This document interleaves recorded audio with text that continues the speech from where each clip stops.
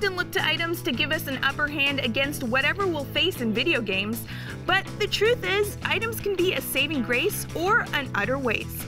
So, to shed light on the items that don't deserve your time, here's our list of the most useless items in video games. Even though gamers spend hours collecting these types of items, it shouldn't be a surprise that they're on our list. Of course, I'm talking about cosmetic items. A popular feature in most games, cosmetic items are essentially costumes or skins that allow gamers to customize their characters in different ways. They don't offer any benefits, but hey, at least they look good. Sometimes.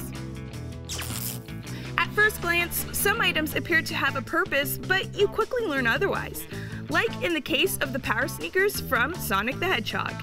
They have the ability to make the iconic speedster even more speedy, and that seems like a good idea. However, when you wear them, Sonic becomes completely uncontrollable. Collecting coins, dodging spikes, or even moving in the right direction feels impossible. Sometimes it's just better to obey the speed limit. It's not uncommon for video games to show off a character's ability to down a pint of liquid courage. But when you're focused on completing a game, what purpose does it serve? You look like someone who can hold their liquor. How about a friendly contest to win a staff? Alcoholic beverages in-game mimics real-life symptoms like blurry vision and makes it harder to control your character. Plus, your character's health can also be affected too. But I guess it's a small price to pay to cope with the stress of, oh, I don't know, maybe the fate of the freaking world resting on your shoulders? The items in the Super Smash Bros. franchise have been a definitive element of the game. They serve the purpose of giving players an advantage, except for Goldeen. Goldeen, Goldeen, Goldeen. When released from its Pokeball, the water type Pokemon will flop around on the stage until it disappears or falls off. That's literally all it does.